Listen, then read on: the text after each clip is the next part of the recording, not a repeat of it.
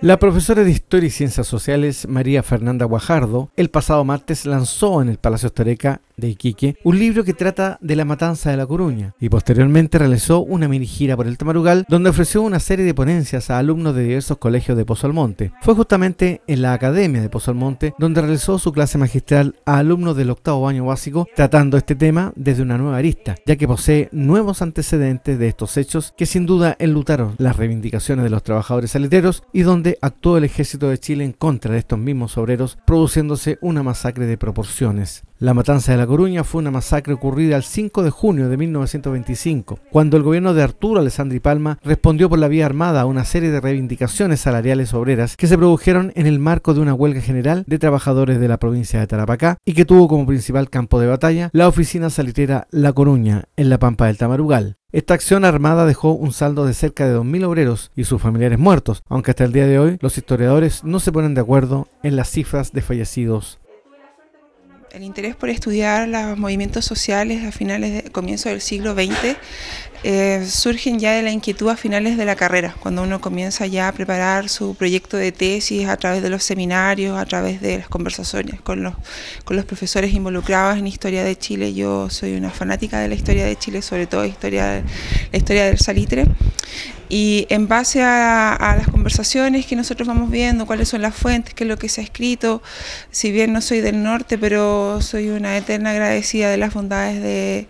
de estas regiones, ¿no es cierto? Por lo tanto, ahí comienza la inquietud por comenzar a trabajar algunos elementos eh, del movimiento obrero que no habían sido descubiertos hasta la fecha. A inicio de 1925, los obreros de la saletera de Tarapacá iniciaron una serie de movilizaciones reclamando mejoras en las condiciones laborales y económicas. Se iniciaron huelgas locales en distintas oficinas y campamentos saleteros a lo largo de la pampa del Tamarugal que desembocaron en un paro general y en la demanda de la Federación Obrera de Chile, FOCH, por la estatización de la industria salitera. Estos hechos son vistos desde una nueva perspectiva por la profesional de la docencia histórica, ya que desde esos tiempos el norte de Chile ha sido el gran sostén económico de Chile hasta la actualidad hoy en día podríamos decir que el norte sigue siendo el sueldo de Chile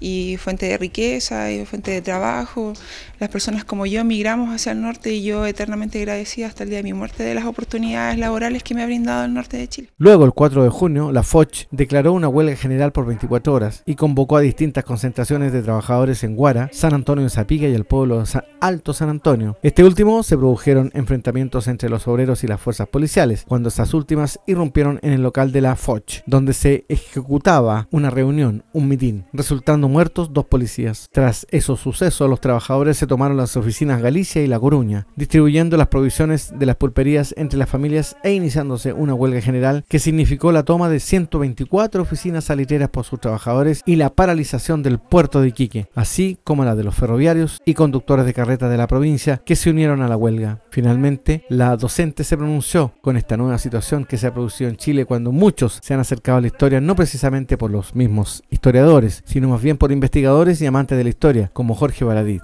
Estas fueron sus palabras. Yo pienso que con respecto al tema de los estudios en historiografía y lo que yo también propongo en, en mi libro es el tema de que no hay que ser egoísta disciplinariamente, no porque una persona no tenga la formación pertinente o no sea un licenciado en historia, no tenga un magíster en historia de Chile, no quiere decir que, eh, que, no tenga las capacidades, ni los conocimientos, ni sepa indagar en las fuentes y por lo tanto descubrir o generar nuevos documentos históricos que permitan eh, dar luces a lo que ha ocurrido en Chile. Así que mis felicitaciones para él y considero que mientras más difusión tengan las obras históricas en Chile, mucho mejor.